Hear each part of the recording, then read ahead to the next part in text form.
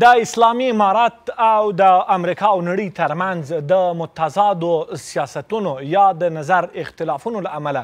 چاته تاوان رسیږي د دې ټکر پایله به څه یې؟ دا ټکر مو کومې خوا ته بیایي؟ د دې ټکر د حل لپاره څه کول پکار دي؟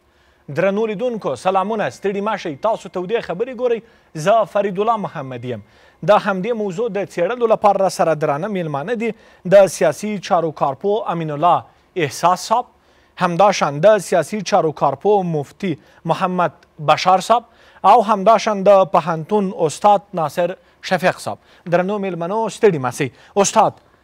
د اسلامي امارت کول داسې پیل کو چې د اسلامي امارت نړۍ او امریکا ترمنځ ټکر ستا او کنه بسم الله الرحمن الرحیم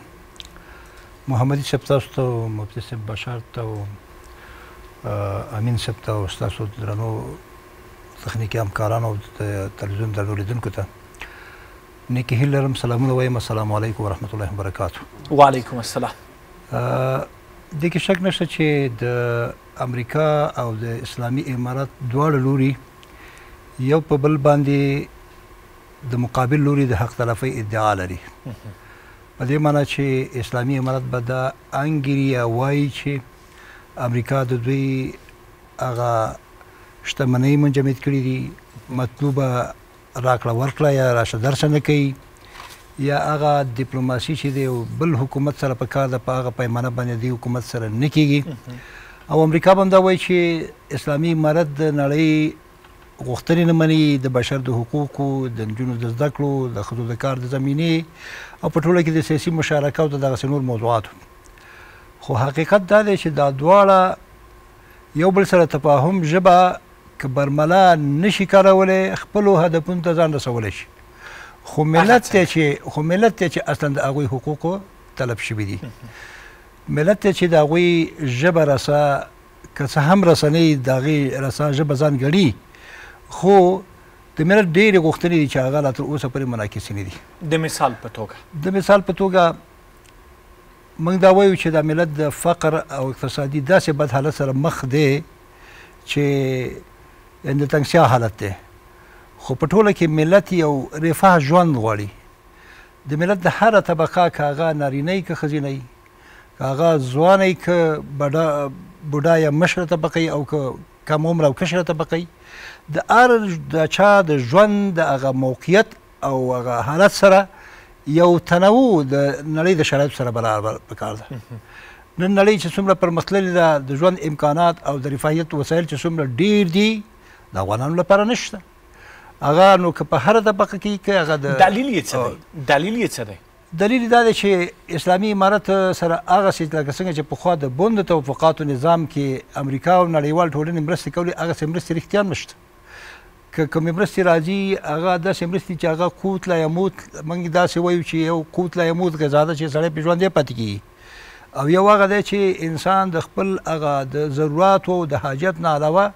لږ تحسینات هم غواړي په داسې حال کې چې موږ لا ضرورات ته لاسرسی نه لرو او حاجیات پرېږده چې تحسینات خو پرېږده پرېږده نو په دې بنیاد باندې د ولس عام غوښتنې چې د تعلیم نه راوالو د ژوند د رفاهیته پورې د همدارنګه د نجونو د زده کړو په رابطه باندې چې هر افغان یا به خور زده کړې یالي وي یا به مور په دفتر کې کار کولو یا به مثلا د ژوند وسایل د خزینه او د کار پورې تړلی وو ځکه ډېرې کورنۍ داسې دي چې هغه نارینه سرپرست نه لري نو د هغوی لپاره د کار زمینه تر اوسه پورې محدوده یې ګڼو همدارنګه د نجونو زده کړو محدودیت لا تر اوسه پورې دوه کاله پوره شو وضع دی د هغې ترڅنګ سیاسي تنوع که څه هم ځینې یعنی ګمارنې به داسې شوي چې د نورو ایډیالوژیو خلکو نه به د نمونې په توګه ځینې خلک ګمارل شوي خو داسې پراخه د هر چا لپاره یعنی د ګمارنې او د هغوی د استعداد او د ظرفیت او د هغوی د هغه یعنی څومره چې وړتیا ده هغه مطابق هر چا لپاره مخه خلاصه نه ده چې هغه په مناسبه دنده وګمل شي نو دا هغه حقوق دي چې هر انسان یې د خپل ژوند د هوساینې لپاره د زده کړو نیولې د رفاهیت پورې همدارنګه د حتی د سفر پورې منګورو کې چې د سفر وضعیت داسې دی چې ډېرو هیوادونو ته سفرونه زموږ نه کیږي دا د ملت غو هر فرد غوښتنه سفر وشي نو که دا شرایط یعنی پلن تنګ دي خو د چا له خوا نه تنګ دي کنه یا د امریکا له خوا نه تنګ دي یا دا چې د طالبانو اسلامي امارت داسې دی چې نړۍ تعامل نه کوي کوره به دا چې ولې نه کوي په دې باندې به بیا راسو نو په دې بنیاد باندې چې دا نشته نو ټول زیاته زیان او د ټول زیات زیانمنتیا یعنی ملت ته رسیدلې کور جماعت مننه مفتی صاحب هم دغه مسله ستاسو پرنګ باندې د امریکا او د اسلامي امارات ترمنځ اول به داسې وایي چې ټکر ستا او کنه کدا ټکر ستا تاوان چا ترسیه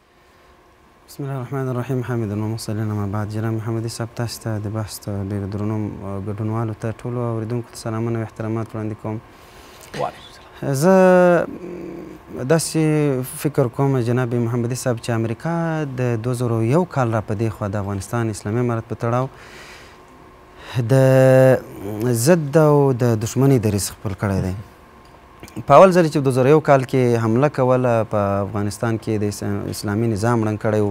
هغه وخت هم اسلامي امارت دوی ته د تفاهم پیشنهاد کړی و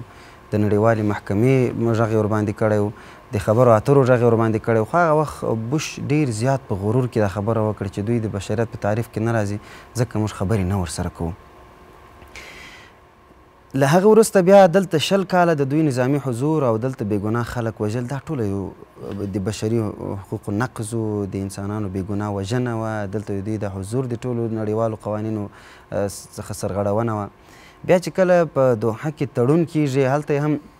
هڅه دا وه چې دلته خپل د ځان لپاره یو نظامي حضور بیا هم حد اقل تر یوې اډې پورې پیدا کړي. دا چې بالاخره تړون په دې باندې توافق کېږي چې دوی باید بشپړ ډول له افغانستان څخه ووځي او د راتلونکي اسلامي نظام سره مرسته وکړي او دغه تړون په ملګرو ملتونو سازمان کې یو یو ډول رسمیت ورکړي،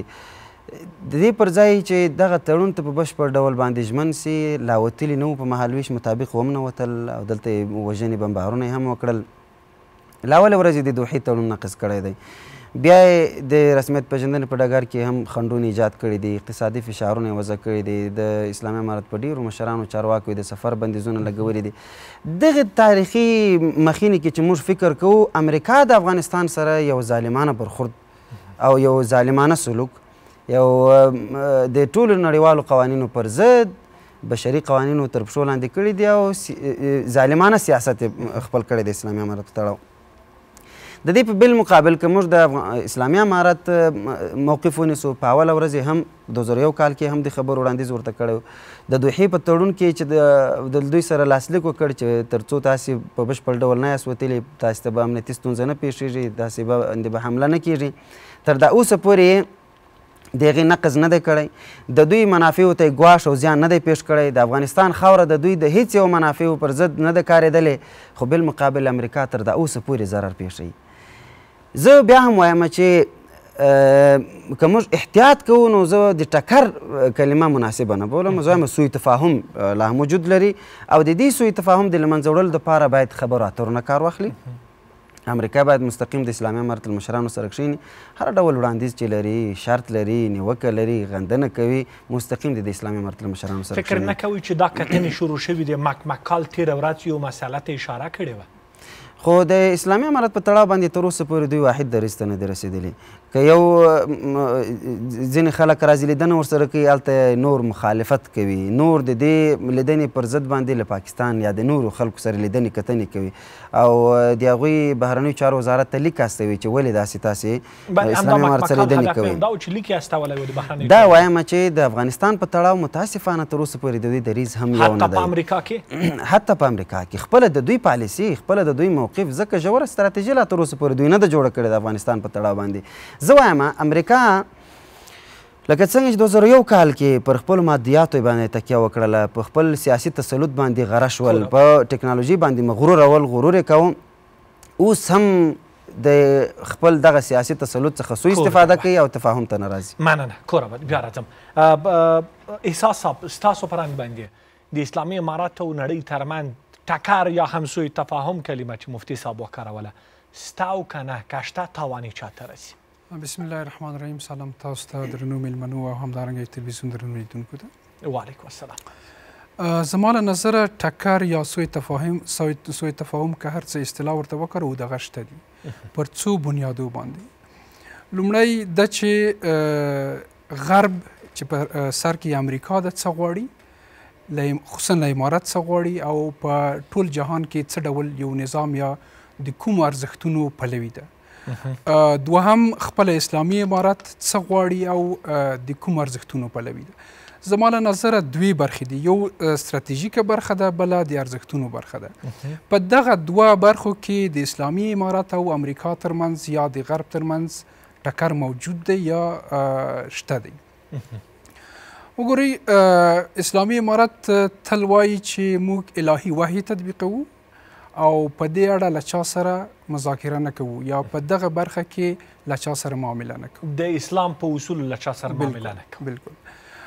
په مقابل طرف کې امریکا ده یا غرب ده هغه خپل ځانګړي او مشخص غوښتنې لري لومړی تل په ارزښتي برخه کې ده چې اسلامي امارت په ارزښتي برخه کې د نړیوالو نورمونو او نړیوالو اصولو طرفداري وکړي یا هغه د هغو پیروي وکړي چې په سر کې د بشر حقوق او ځینې نور موضوعات دي په دې ځای کې یو سوال پیدا کېږي فکر کوي چې دغه نړیوال نورمونه او دغه بشر حقونه چې دوی یادوي دا د اسلام سره په ټکر کې دي هغه تعریف محمدي صاحب چې غرب د حقوق بشر څخه لري هغه تعریف یا هغه اصول چې غرب د انسانانو حقوقو ته یې دي هغه کاملا د اسلام سره په ټکر کې دي د بشر د حقوقو اعلامیه اصل او بنیاد یې د رایې اکثریت دی، د خلکو غوښتنه ده، پرته له دې چې د کومې وحي او د کوم شریعت پیروي وشي. دغه کاملا د اسلامي شریعت یا الهي وحي سره په ټکر کې دي. نو دغه یوه برخه ده. بله ستراتیژیکه برخه ده. ستراتیژیکه برخه دا ده چې امریکا په ټوله کې غرب او خصوصا امریکا غواړي چې افغانستان په اوږدمهاله او لنډمهاله توګه د دوی د رقیبانو لاس ته ونه لویږي یا د دوی د رقیبانو سره ښه روابط ونه لري یا د دوی د رقیبانو هغه ستراتیژیک اهداف په افغانستان او سیمه کې تامین نه کړي او ورسره همکاري هم ونه کړي، په ځانګړي توګه د چین او روسیې. دغه دوه هغه اساسي ټکي دي چې د اسلامي امارت او غرب او چې په سر کې یې امریکا ده د ټکر باعث ګرځېدلي. صحیح، که د امارت دریځ ته راسو بیا څه ډول دی د دې دواړو غوښتنو ارزښت او ستراتیژۍ په اړه؟ ښه، که موږ تاسو وګورو تل د اسلامي امارت مشرتابه او چارواکي وايي چې موږ له غرب سره تعامل کوو مګر له موږ نه دې په ارزښتي برخو کې غوښتنې نه کوي. فکر کوئ دوی بیا هم ارزښتي غواړي؟ بلکل، دا دا طبیعي خبره ده. غرب چې له کومو هېوادونو سره معامله کوي، ځینې وخت ستراتیژیکو اهدافو ته ترجیح ورکوي. یعنې که چیرته اسلامي امارت د غرب او امریکا ستراتیژیک اهداف ومني او هغه ورسره د بیلګې په توګه کوم ستراتیژیک اهداف؟ د بیلګې په توګه چین ته موقع ورنکړي یا د چین هغه لویې اقتصادي پروژې چې د د بي آر آی پروژه ده د سپیک پروژه ده د لاجوردو د لارې د چین د یوه اقتصادي مسیر پروژه ده او په مجموع کې د افغانستان په لویو معدنونو په لویو کانونو په لویو پروژو کې دوی ته برخه ورکوي دا د امریکا لپاره سره کرښه ده دا امریکا نه مني یا یا یا دا چې اسلامي امارت امریکا ته په افغانستان کې د استخباراتي فعالیتونو زمینه مساعده کړي یا د دوی اجازه ورکړي که چیرته موږ په جهان کې که د امریکا اهداف وګورو هغه هیوادونو چې په ستراتیژیکه برخه کې د امریکا سره همکاري کړې ده په ارزښتي برخه کې جدي نه دی نیولي نو بعضې وخت ارزښتي برخې د حقوقي بشر موضوعات، د ښځو او د نرو د آزادۍ او یا د د تساوي ارزښتونه یا ځینې نور ارزښتونه بعضې وخت امریکا د فشار د آلو په توګه استفاده کوي تر څو معاملې ته حاضر شي تر څو مذاکرې ته حاضر شي تر څو د وین وین حالت ته ورسوي چې یو څه ته راکړې یو څه به زه درکړم او بل اخره به همداسې مخکې ولاړ شو نو دا هغه د د د اسلامي امارت هغه په دې باندې واضح دی چې دوی په ارزښتي برخه کې د امریکا غوښتنې نه مني مګر ستراتیژیک برخه کې مشکلات موجود دي لومړی د چې اسلامي امارت فکر کوي چې چین هغه په نړیوال سیاسي سټیج کې هغه هغه ظرفیت یا هغه څه نه لري لکه امریکا چې لري یعنی اسلامي امارت دلته هم په یو مشکل کې دی که که که کاملا د امریکا طرف ته دیپلوماتیکې دروازې بندوي چین هغه توانایي نه لري چې اسلامي امارت په پښو ودروي کومک ورسره وکړي او بالاخره روان وضعیت ته د پای ټکی کېږدي کوره به دا چې توان یې چاته رسېږي بیا به راځو استاد تاسو ویل چې ټکر سته د تاسو په انګ باندې د دې ټکر توان ستاسو ویل چې ملت ته رسېږي دلایل یې څه دي تاسو هم له ارزښت او ستراتیژي سره موافق یې او دا درسته ده خبره چې امریکا د هر هیواد نه ځینی ارزښتي مسایل غواړي چې هغه د نړۍ سره د اجماع په توګه باندې منل شوی دی د ملګرو ملتونو د منشور پر وړاندې کې او یا په ځانګړي توګه د بشري حقوقو پر وړاندې کې او یا د نورو نړیوالو کنوانسیونو په رڼا کې اما په دې ټولو کنوانسیونو سازمانونو کې په اوله ماده یې لیکي چې هر څوک په خپل مذهبي او اسلامي مسایلو کې خپلواک دی خو په ټوله کې د دې مانا دا نه ده چې بالکل موږ یو د تعامل ژبه نه شو لرلی. که اسلامي امارت یو ایډیالوژیکه حکومتولي ده، داسې نور ایډیالوژیکې حکومتولۍ هم په نړۍ کې شته. هغه هم د امریکا سره درګیر دي لکه ایران، خو کوښښ کوي چې تعامل ورسره وکړي. یا مثلا ترکیه همدارنګه مالیزیا چې دا بیا په دویم ردیف کې راځي چې هغوی یو څه حده پورې ډیلینګ کوي خو په پوره پوره ډول باندې ارزښتونو کې ورته تنازل نه مني نو د حکومتولیو لپاره دا په کار ده چې موږ د څه راشه او څه ورشه یا د راکړې ورکړې باب خلاص کړو سیاست وایم دې ته چې خپلې ګټې به د نورو ګټو په انډول کې ویني داسې به نه کوي د نورو ګټې بالکل د نظره وغورځوي او خپلې ګټې په تمامه معنا وغواړي دا درسته چې هر چا دا غوښتنه وشي چې د نورو ګټې په هغه کچه باندې مطرح او په نظر کې ونه نیول شي لکه څومره چې ډېرې وي خو دا د یو هیواد نظامي اقتصادي سیاسي ځواک غواړي اوس هغه هیوادونه چې لومړی خبره کوي لکه د نړۍ ځواکمن هیوادونه هغوی کولی شي دا دا خبرې وکړي اما هغه هیوادونه چې هغه اقتصادي مشکل لري هغوی نشي کولی نو کله چې هغوی نشي کولی دا په دې حقیقت باندې یعنی دلته باید یو څه د شي ډیلینګ وشي چې د ملت د ګټو په خاطر باندې یو څه تنازل وشي خو د دې معنی نه چې په تمام معنا موږ تنازل وکړو څه چې امریکا غواړي هغه وکړي خو دا په خپله تقاضا د دې لري چې د ملت تمثیل لپاره هم یوه لاره راشي ځکه نړۍ د بشري حقوقو لپاره داسې یو فورم لري چې که ولسواکي نن د یو نړۍ د منل شوي اصل په توګه باندې نو د هر چا د خپل د ولسواکۍ اصول دي ولسواکي یو ارزښت دی خو موږ اسلامي هیوادونه په دې معنی نه منو چې دا د یو داسې ارزښت وسی چې موږ د پکې هر څه لاس ورکو خو په ځینو مواردو کې لکه د انتخاباتو د نظام په توګه باندې چې د قیادت د تعین لپاره یو لار ده دلته خو به یعنی اسلام هم دې ملاتړ کوي چې اسلام هم قیادت د خپل هیواد لپاره یا د شورا د لارې نه چې د منتخبو افرادو یعنی لارې نه هغه شورا رامنځته کی یا د ټول ولس د عامه انتخاباتو لارې نه هغه شورا رامنځته کی نو په هر ډول کړولو که موږ عامه ټاکنې وګڼو یا خاصه ټاکنې وګڼو اسلام کې د هغې لپاره یو څه ځای شته په کار دا ده چې اسلامي امارت هم ځان کې وسل لچک وخی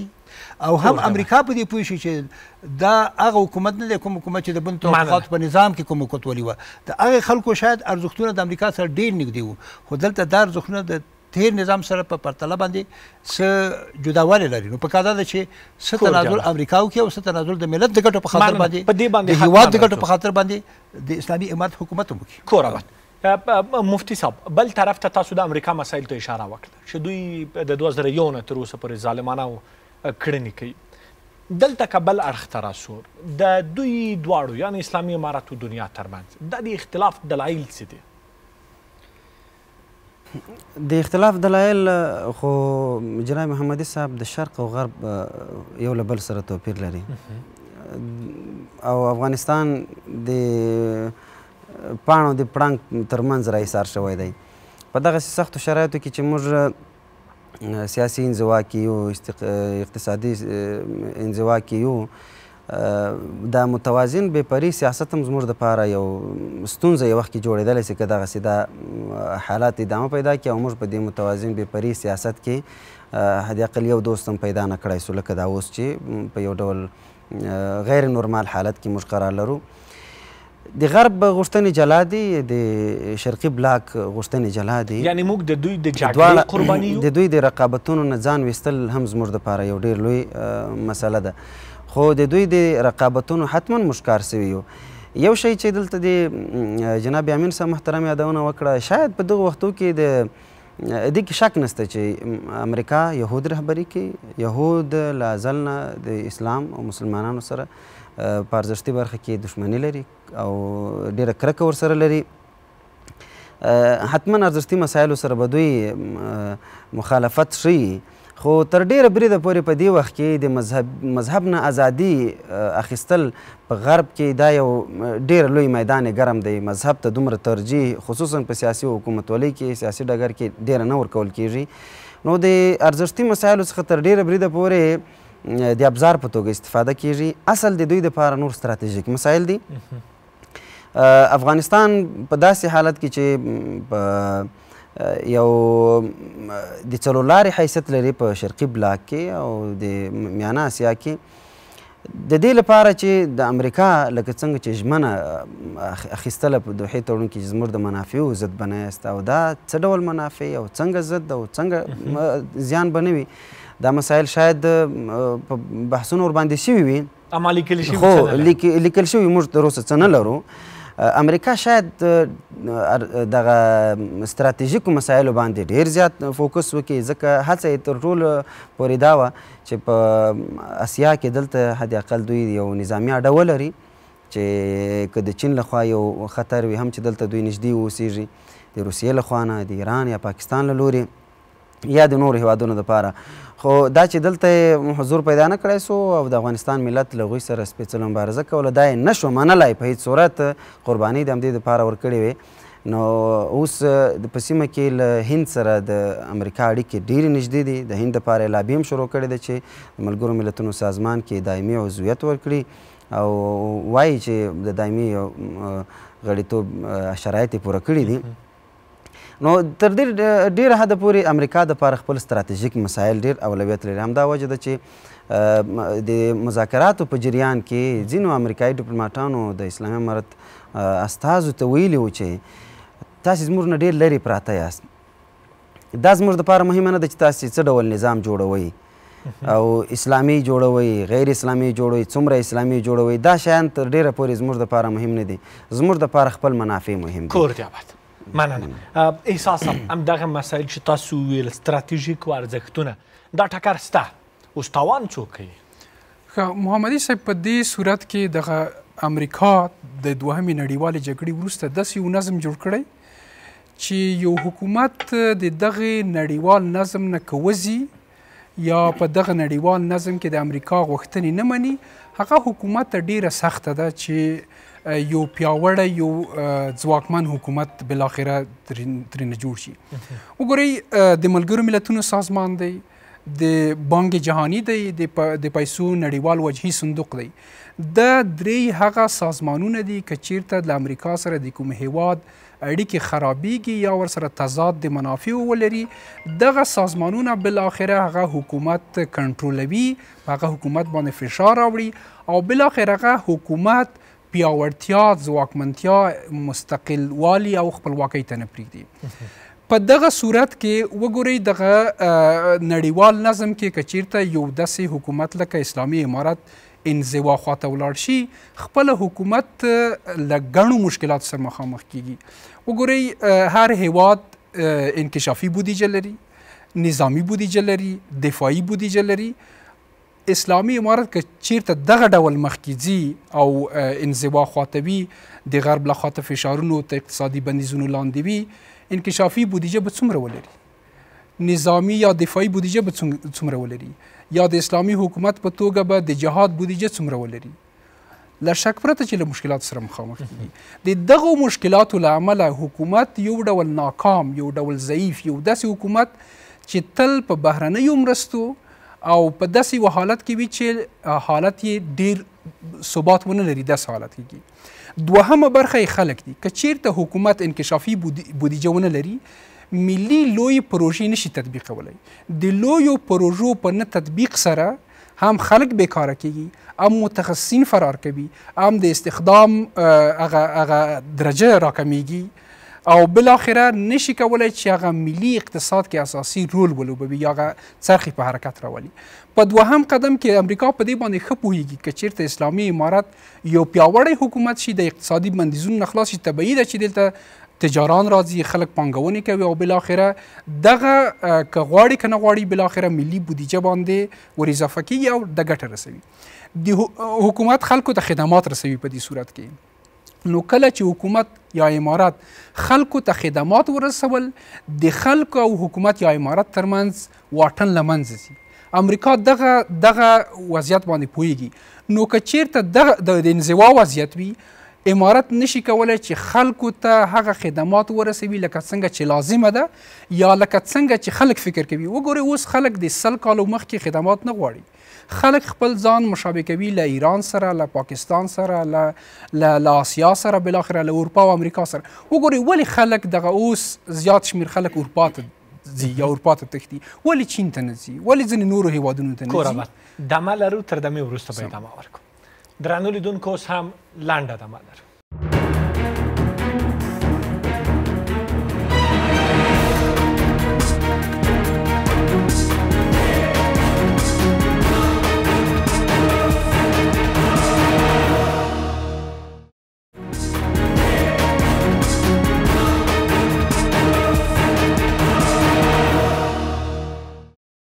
درنو لیدونکو بیا هم ښه راغلاست او د خبرې خپرونه دوام لري مهرباني احساسه نو خبره مې دا کوله چې په دې حالت سره خلک خدمات غواړي خلک داسې ژوند غواړي لکه ګاونډیو هیوادونو کې دی یا ځینې نورو پرمختللو هیوادونو کې دی چې په دې کله چې په امارت باندې بندیزونه وي له اقتصادي ناورین سره مخامخ وي خدمات نشي رسولای نو د خلکو او امارت ترمنځ واټن رامنځته کیږي او د امریکا لپاره د غرب لپاره هغه حکومتونه چې د دوی مخالف وي هیڅ کله نه پریږدي چې د خلکو او حکومت ترمنځ واټن نه وي خلک حکومت سره يو وي هغه اهداف او هغه موخې چې حکومت یې لري خلک یې طرفدار وي یا خلک هم هغه موخې وغواړي نو په دلته په طبیعي ډول د حکومت او د خلکو ترمنځ مشکلات وي او تل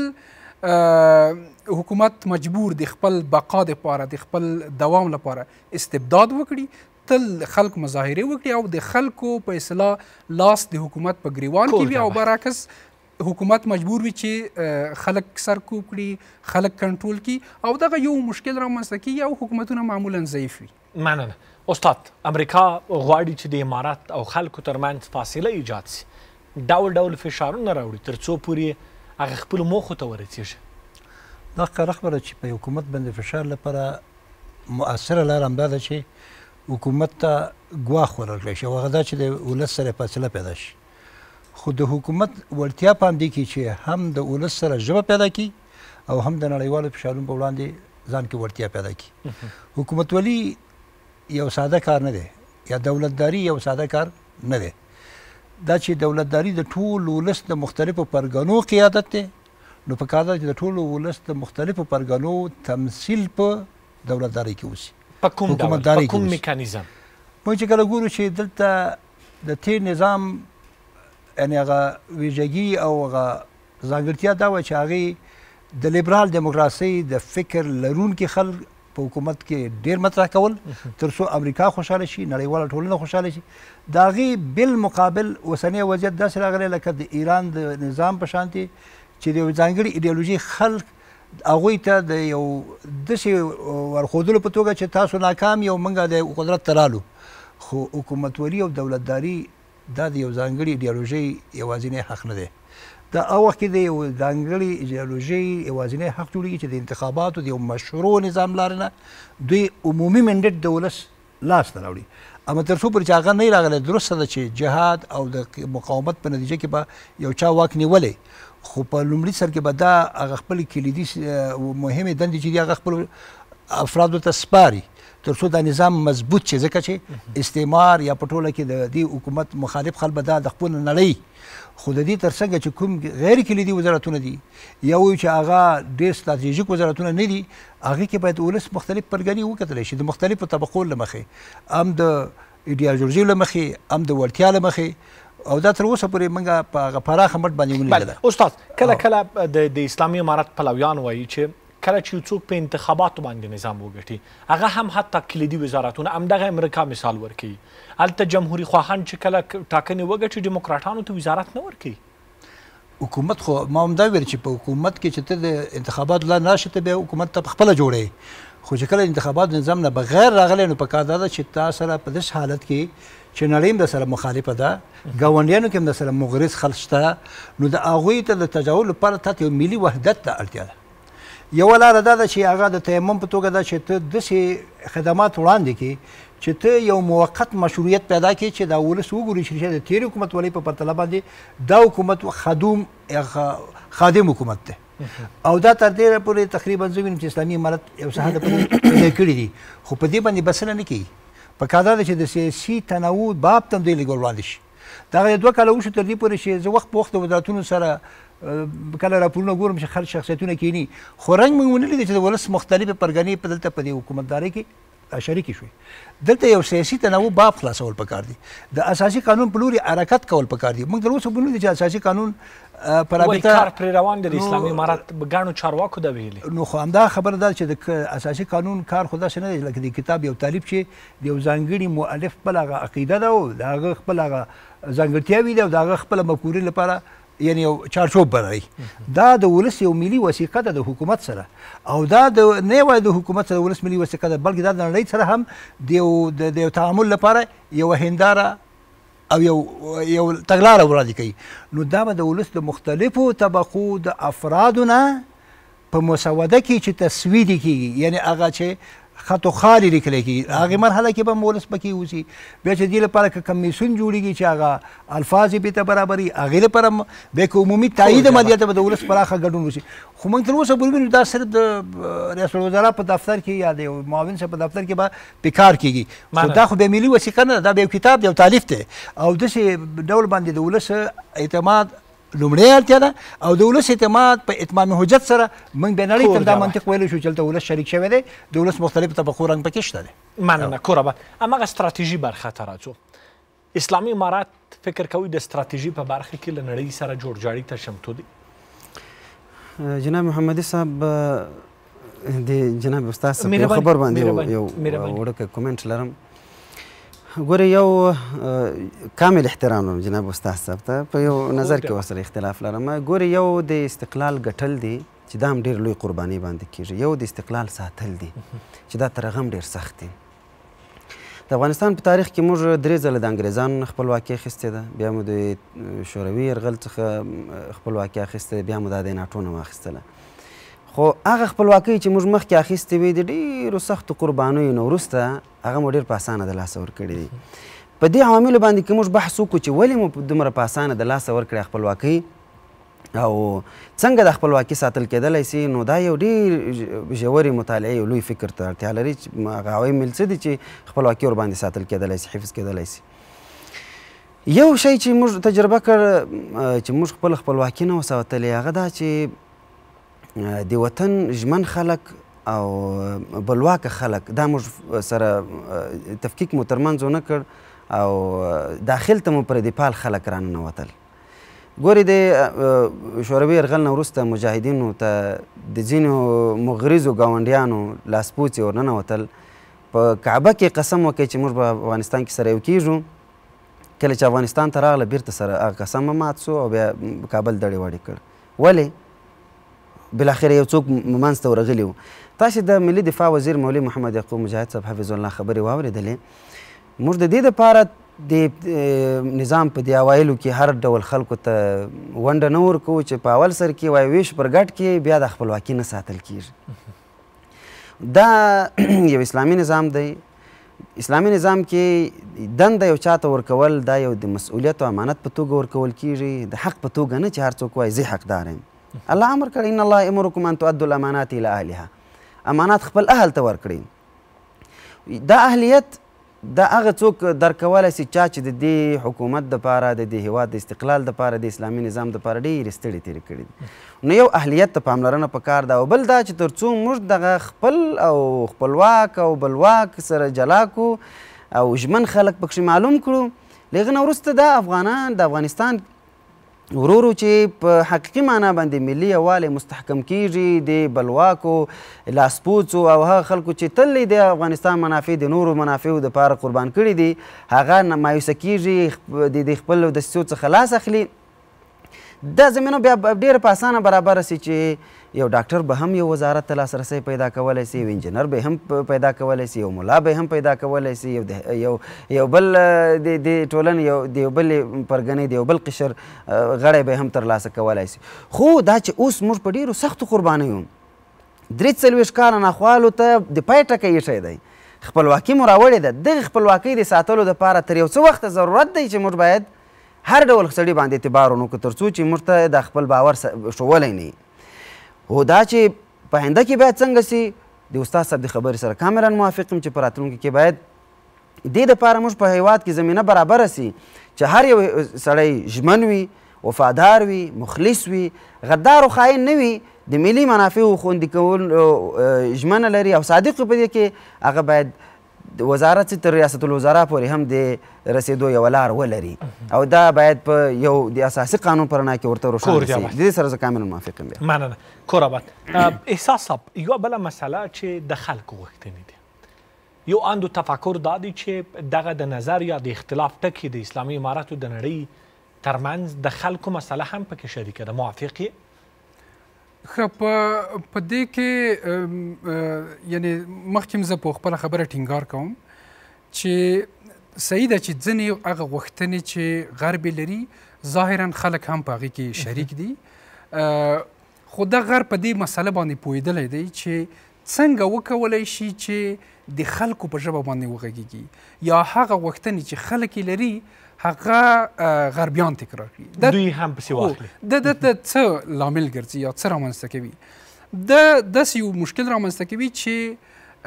امارت فکر وکړي چې خی خلک او د خلکو غوښتنې د امریکا غوښتنې سره یو شی دي او حتی یو ډول عکس العملي شي د بیلګې په توګه د نجونو مسله زه باور لرم که چیرته غربیان یا امریکایان دغه مسله پریږدي اسلامي امارت فکر کوم چې دې ته زر حل لاره راوباسي مګر اوس اسلامي امارت وایي که که چیرته موږ دغه مسله زر حل کړو خلک به وایي جهان به وایي چې دی ګواکې د غرب د فشار په مقابل کې دغه کار وکړ نو غرب یو ستراتیژیک کار کوي سیاسي استفاده کوي له دغه د خلکو له غوښتنې څخه هغه څه چې خلک یې غواړي هغه امریکا بدرګه بدرګه کوي هغه د ملګرو ملتونو سازمان بدرګه کوي او یو ډول د خلکو سره ظاهرا خواخوږي ښیي داسې داسې ورته وایي چې ګواکي موږ د خلکو تر شا ولاړ یو خلک د خلکو غوښتنې باید اسلامي امارت جدي ونیسي په داسې حال کې چې غرب له دې څخه سیاسي استفاده کوي نو مهمه خبره دغه ده چې اسلامي امارت د خلکو سره د کیناستو یو میکانیزم جوړ کړي یعنی له خلکو سره کیناستل د خلکو غوښتنې اوریدل د خلکو هغه څه چې دوی وایي د هغې اوریدل مهمه خبره ده په همدې سره حکومتونه او خلک سره یو ځای کیږي او بلاخره یو موافق حکومت رامنځته کیږي چې اوس یو میکانیزم نشته یعنی په اسلامي امارات کې اوس دغه میکانیزم نشته چې د خلکو سره څنګه وګوري بالکل ځنې وزیران ځنې چارواکي په شخصي ابتکار باندې ځنې مجالس راغواړي ځنې سپینګیري راغواړي ځنې متنفذین راغواړي د هغوی غوښتنې اوري مګر د هغوی د غوښتنو د عملی کولو لپاره کوم میکانیزم نشته یعنی یو میکانیزم باید وي چې خلک خپل غوښتنې امارت ته ورسوي، امارت هغه غوښتنې د هغو غوښتنو د تطبیق لپاره د عملي کولو لپاره هم یو میکانیزم موجود وي. ډیری وخت خلک خلکو غوښتنې سمې دي. خلک کار غواړي، خلک خدمات غواړي، خلک په تعلیمي برخه کې حق غواړي، د د صحیح غوښتنې دي. دې ته باید اسلامي امارت یو ځواب ولري، یو یو یو میکانیزم باید وي چې خلکو ته بالاخره یا قناعت ورکړي یا ورته ووایي چې موږ دغه عملي کوو تاسو تاسو موږ ته وخت راکړئ یا یو یعنی په مجموع کې یو میکانیزم موجود وي چې بل اخر خلک هیله ولري خلک د اسلامي امارت باندې باور پیدا کړي خلک وایي چې سمه ده که سږ کال له مشکلات سره مخامخ یو کال ته به د اسلامي امارت د دغه دغه پالیسیو پر اساس باندې موږ ته دغه خدمات ورسیږي د دغو مشکلاتو نه به خلاص شو، په تعلیمي برخه کې به دغه پرمختګ ولرو، دغه دغه کار کولی شي چې د اسلامي امارت او د خلکو ترمنځ واټن راکم کړي، د غرب او د امریکا هغه مداخله چې په دغه برخه کې لري هغه لري شي او بالاخره اسلامي امارت د یو موفق موفق حکومت خواته ولاړ شي قدمونه واخلي. کور جوت حل لارو کې بیا درته راځم استاد څه کول پکار دي اوس دا وضعیت دی دا وضعیت روان دی امریکا خپل اهداف تعقیبوي اسلامي امارت خپل اهداف تعقیبوي ستاسو د خبرې مطابق تاوان هم ملت ته رسیږي څه کول پکار دي موږ به دې پوهیږو چې اسلامي امارت دا حق لري چې په کلیدي وزارتونو کې دوی خپل خل اوس دا وګماري ځکه دا نظام دوی په قربانۍ وګټلی دی خو دا قرباني یوازې اسلامي امارت ته منسوب غړو په لاس نه ده راغلې دې کې د ملت ډېرې طبقې شریکې دي چا به د جهاد د سنګر د لار نه ټوپک لار نه قرباني ورکړي چا به د یو ممبر د لار نه چا به د یو سم د لار نه د ټولو ته په کتو سره باید د نظام هغه تشکیل او ساختار داسې جوړ شي چې هر چا ته په دې نظام کې ونډه ورکړی شي چې خلک وګوري چې اشته هم زه په دې نظام کې درنښت لرم او هغه جال چې امریکا خور کړی دی او د هغې ستراتیژیکو دوستانو خور کړی دی که په ګاونډ کې دی او که لرې دي چې د هغوی هغه اهداف متحقق نه شي. هغوی همداسې غواړي چې طالبانو اسلامي امارت تعجیز شي. د خلکو د غوښتنو په وړاندې دوی همدا وویل لکه څنګه چې احساس یې ویل چې که دوی اوس عمل وکړي نو بیا به وایي چې دوی امریکا باندې امریکا ته تنازل وکړو امریکا نه یو چا چې چا حق غوښتنه هغه که د هر چا له خوا نه دا یعنې پورته کېږي هغه د ملت غوښتنه ده د نجونو زده کړې د ملت غوښتنه ده د سیاسي تنوع باب په کراره کراره باندې دا د دې نظام خپله د پايښت لپاره يو ذريعه ده نو د دې لپاره په کار دا ده چې دا ولس چې امریکا کوم جال ایښی چې ځینې خلک بیرون وباسي ځینې خلک د وړتیا او د ظرفیت لرونکي دي هغه په دې ولس باندې په دې امارت باندې بې باوره کړي د دې د مخنیوي لپاره باید دوی غیږه خلاصه کړي ټول هغه خلک چې ځان ته د حق غوښتنه کوي هغه ټول د حق غوښتن حق نه لري هغه څوک چې د دوی سره مشترکات لري د اسلام د اعتقادي نظام له مخې د اسلام د سیاسي نظام له مخې یعنی په مجموع کې چې دغه د قربانۍ لپاره کوم هغه یعنی اهداف ټاکل شوي هغه اهداف چې دوی سره څومره خلک شریک دي هغوی ته باید داسې سټیټ سټیټ بای سټیټ یا مرحله وار مرحله وار هغوی ته غیږه خلاص شي او تنوع راشي که دا تنوع نه شي نو غرب د دې لپاره لوی جال ښیي چې دا نظام همداسې په انحصاري ډول باندې وساتي د دې ملت د مختلفو پرګنو نظرونه دوی نه واړي او تر دې پورې چې آخر په خپله دا ملت ټول ووایي چې یاره نور د طالبانو سره ستړي شو نو په کار ده چې لږ د ولس غوښتنو ته هم باید سینه خلاص شي د دې لپاره او د دې لپاره ونه ګو چې نه د امریکا په خوا د سکول موږ به دا کار ځکه نه کوو چې امریکا دا غوښتنه و ور لکه د ولسواکۍ د نظام ولسواکي خو اسلام د نگاه نه د سا... د ارزښت په توګه باندې نشو منلی چې هر څه چې اکثریت غواړي هغه به موږ منو نه خو د یو نظام د رسیدلو لپاره انتخابات یو ذریعه ده راځي په دې تجربه کې ځینې ځینې کارونه وکړو کنه یو یو یو د اساسي قانون لپاره یو شورا جوړه کړو کنه دا که په هغه عامه انتخاباتو نه کیږي په پامه سي د مختلفو پرګنو د تعلیمي ادارو د د د ټولنیزو ارګانونو لار نه مثلا دی لپاره یو لار خلاص وکړه دا به دی لپاره یو باور ورکړي چې د ولس مختلفې پرګنې دغه حکومت د ځان د ګټو منعکس کوونکی او که داسې نه وسی نو ورسته بلې د طالبانو د اسلامي امارت کومه خصمه وا خرابېږي کور دې مننه مفتي صاحب څه کول پکار دي؟ جناب محمدي صاحب د نړیوالو غوښتنې ته که موږ ګورو ډېرې غوښتنې داسې دي چې د ابزار په توګه مطرح کېږي او نه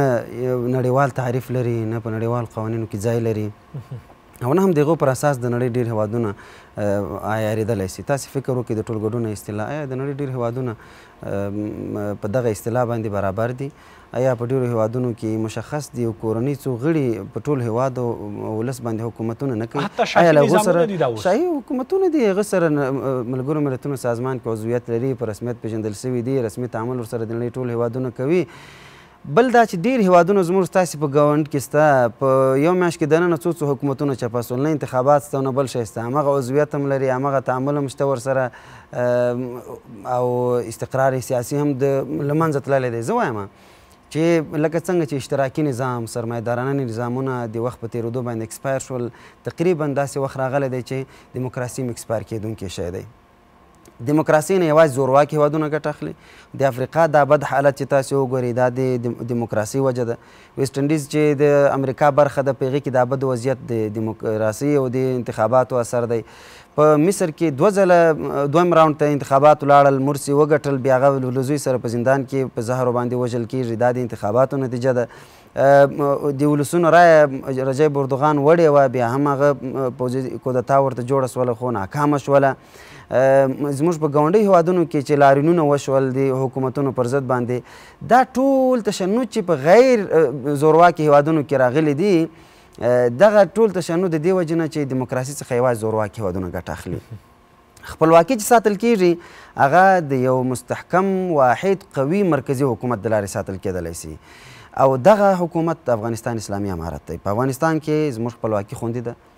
ځمکنۍ بشپړتیا مو له تجزیې نه خوندي ده، زموږ سرحدات خوندي دي، یو لیش خاورې باندې څوک تجاوز نه شي کولای، زموږ داخلي مسایلو کې هیڅوک لاسوهنه نه شي کولای، غوښتنې مطرح کیږي، فشارونه راځي، سیاسي، اقتصادي، سفر بندیزونه، خو